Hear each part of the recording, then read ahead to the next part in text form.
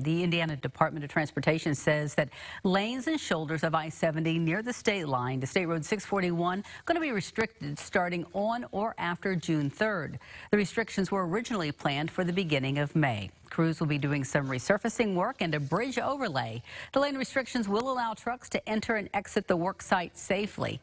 I-70 will be restricted to one lane during construction. Work expected to mainly be done at night with unrestricted lanes Monday through Friday between noon and 6 p.m.